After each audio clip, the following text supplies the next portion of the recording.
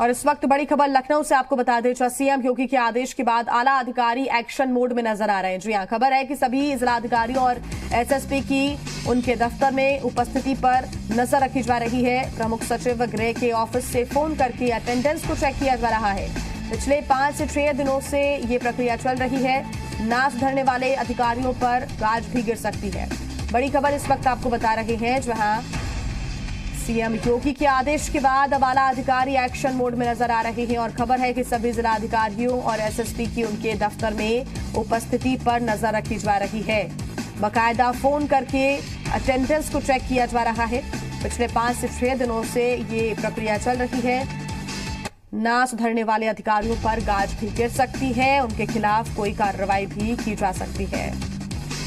बड़ी खबर इस वक्त आपको हम बता रहे हैं लखनऊ से। सीएम के आदेश के बाद अब आला अधिकारी एक्शन मोड में नज़र आ रहे हैं। प्रमुख सचिव गृह के ऑफ़िस से फ़ोन करके अटेंडेंस को चेक भी किया जा रहा है। पिछले पाँच से छह दिनों से इस तरह की प्रक्रिया चल रही है और ना सुधरने वाले अधिकारियों पर गाज भी गिर सकती है। बता दें कि लगातार उत्तर प्रदेश में आला अधिकारियों पर नज़र भी रखी जा रही है, चाहे वो पुलिस प्रशासन के आला अधिकारी हो? रिकॉर्ड्स चेक किए जा रहे हैं और रिकॉर्ड्स के हिसाब से अगर किसी प्रकार की कोई लापरवाही या भ्रष्टाचार भी देखने को मिलता है तो उनके खिलाफ तो कार्रवाई की ही जा रही है, जबकि अभी फ़ोन करके अटेंडेंस भी पूछी जा रही है। पाँच से छह दिन से ये प्रक्रिया चल रही है। प्रमुख सचिव गृह के ऑफ़िस से फ़ोन करके अटेंडेंस पूछी जा रही है।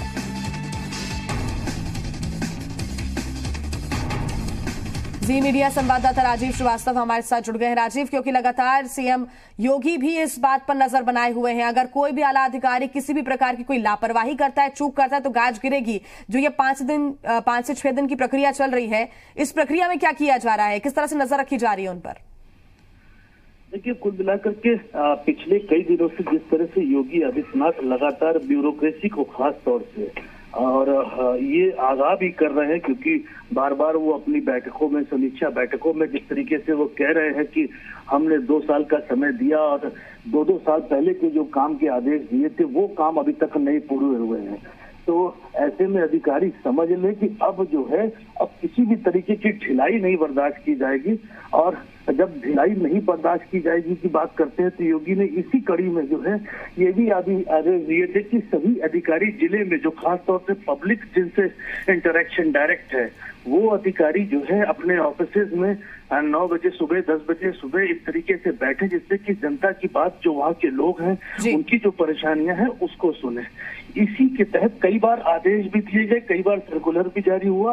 उसके बावजूद भी कई शिकायतें मिली कि अधिकारी जो है अभी भी ऑफ़िस में अपने समय पे नहीं बैठ रहे हैं। उसी के चलने के बाद अब जो है शासन स्तर पे सीएम के आदेश पे जो है लगातार एक मॉनिटरिंग हो रही है। फ़ोन किए जा रहे हैं डीएम को एसएसपी को खास तौर से। और ये पता किया जा रहा है कि वो वहाँ पर उपस्थित हैं उनकी नहीं है। और अगर उपस्थित नहीं है तो क्यों नहीं है?